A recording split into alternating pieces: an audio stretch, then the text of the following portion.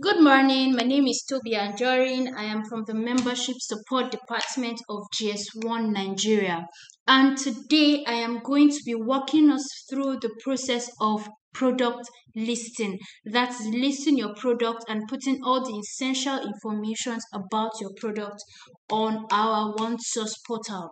Now let's dive in. The first step or the first thing you need to do is go to our website gs1ng.org.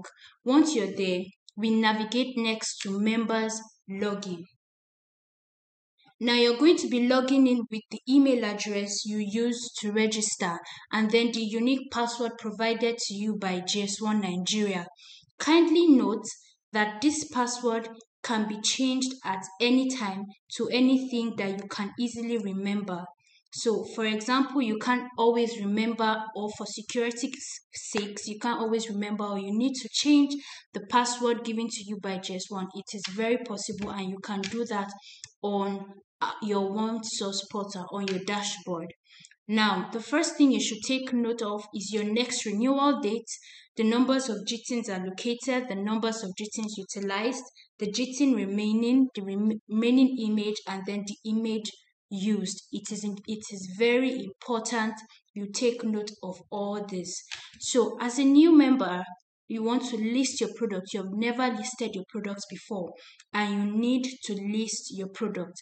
The first thing you will need to do is to create product data. That's the first place we go to.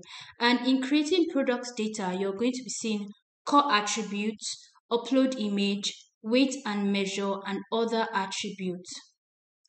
Now, we're going to be starting with core attributes.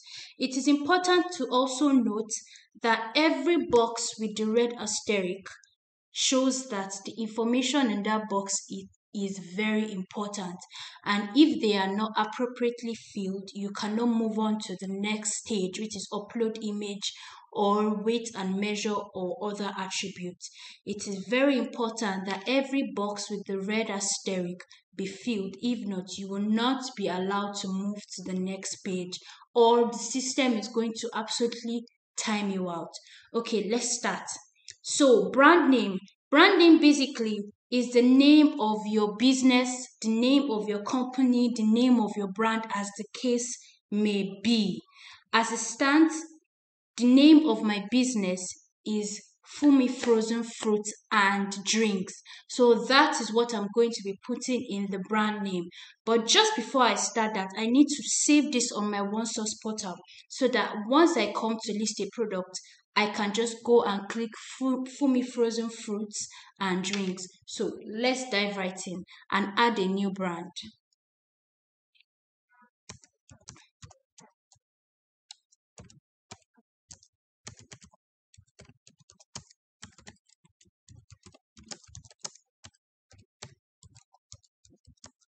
Now, the start date will be the date you are actually listing this product, and then you make it active and save. So once that is done, you come to brand name and you just start clicking the first letter and it comes up Fumzi frozen fruits and drinks. And that is what you're going to be clicking. Now because Fumzi frozen fruits and drinks entail different products it entails different types of drinks different types of frozen fruits as the case may be. So the next thing we're moving to is product name. Now the name of the particular product I am listing under Fumzi frozen fruits and drink is the healthy fruits Zobo. Now that is what I'm going to be listing.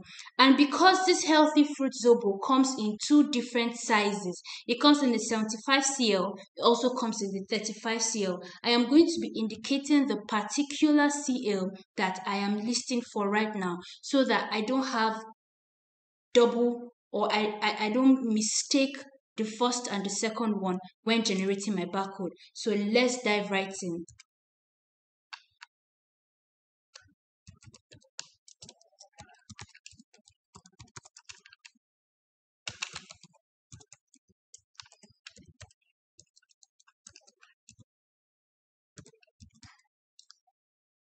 Now we're moving next to the packaging style. Now the packaging style for this particular product is bottle. This varies for different products and different businesses and different brands. Now yours could be nylon, yours could be a bottle, yours could be a bucket as the case may be. The packaging type is talks about the type of package you use for your product. So for example now, you are into cakes, you make cakes or you make chin chins or cookies. Your packaging style, for example, might be a box or a nylon as the case may be. But for my own right now, is Zob is a bottle because it's, it's, it's a drink. So I'm using a bottle for my packaging type. Now we move to the label description. Now the label description basically describes the your brand. What is that thing that once people think about Fumzi frozen fruits and drink, what is the thing that comes to their mind? What is the the, the phrase or the thing that basically comes to your mind once they think about your brand. For my own, it will be healthy fruits to be fruits and drinks to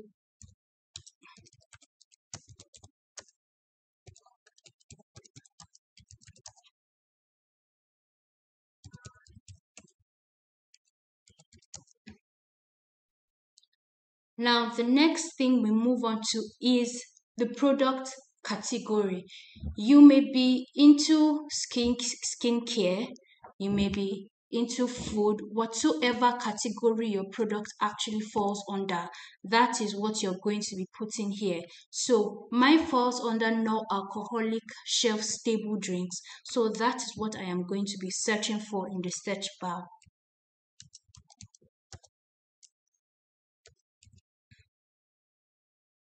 Non-alcoholic beverages, variety pack and ready to drink. Now, the marketing information can be anything that you use to sell your brand, anything at all that you use to sell your brand. And I'm going to be putting healthy Zobo to keep you hydrated.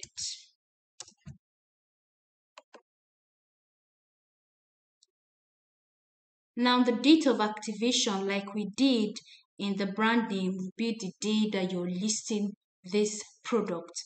Now as you can see every space in this boxes has been filled so I can conveniently move on to the next stage.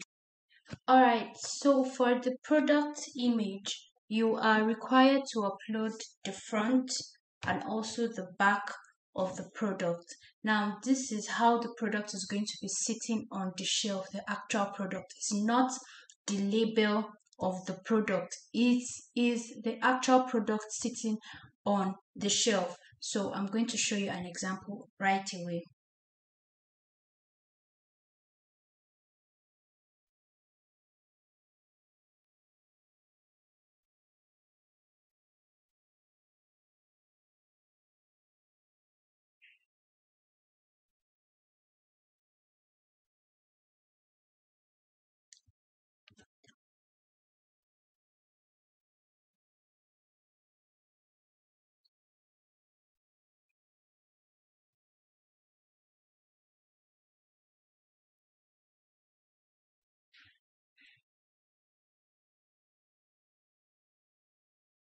Now this is what it's supposed to look like. Then we save and next. Once we save and next, the next thing that we're moving on to is the weight and the measurement of your product. That is measurement of a product. How is it measured? Is it in grams, is it in kilograms, is it in centimeters, and so on and so forth. So we're going to pick here and I'm using this. Then the gross weight and the net weight. The net weight slash content includes both the outer and the inside of, of your product. That's the measurement of the product itself, what is inside, and the packaging. That is for the net and the content. then the gross weight is just the packaging size for your product. The net weight and the content is usually lower than the gross weight.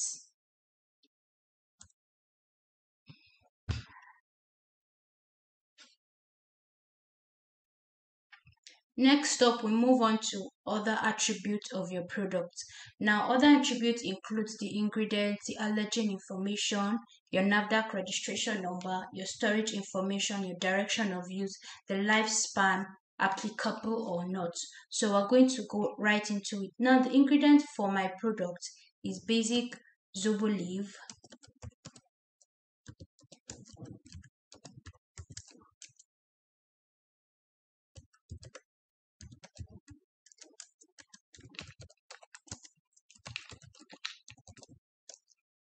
then allergy information depending on the kind of products that you are creating.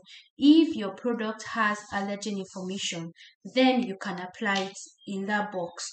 If not you just put none as the case may be. Then your NAFDAC registration number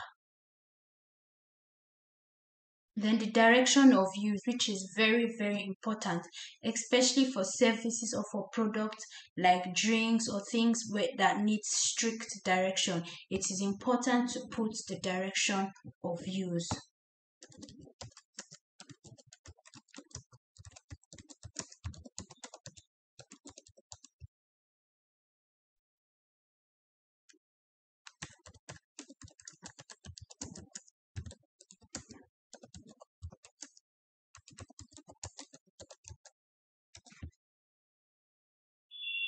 Now, for the product lifespan, for the product lifespan, if your product doesn't have a lifespan, it is advisable you put not applicable.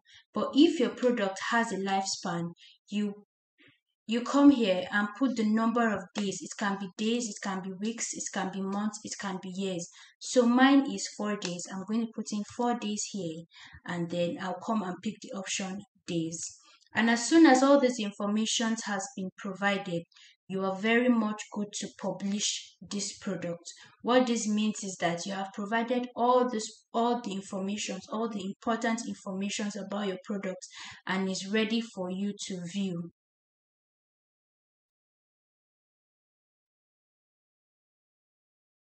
So once we're done with this, we go back hmm. to the main page once we're done with this we go back to the main page. And so right now i want to generate my barcode image. I would go to product data.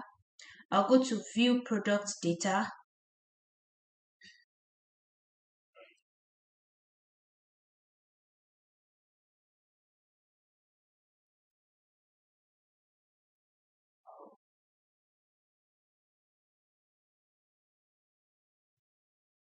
and then come to the product that I just listed. Once you see this green tick here, it shows that your product has successfully been listed. Every needed information about your product has been provided. So if I come to this place, I can see edit this product. This shows generate barcode image and I'm going to click on it. So this is how your barcode image and your barcode number looks like this is the final stage so once this is done you can as well just download it to your system or any device that you're using to do your product listing and rename the file to the name of the particular product. So for example, I'm going to say Fumzi Healthy Zobo 75cl so that at the point where you're giving it to your printer, he does not mix it up with another product. Now, this will be the end of your product listing. Thank you so much. And if you have any more inquiries, do well to send us a mail or call us on any of our customer care service line. Thank you.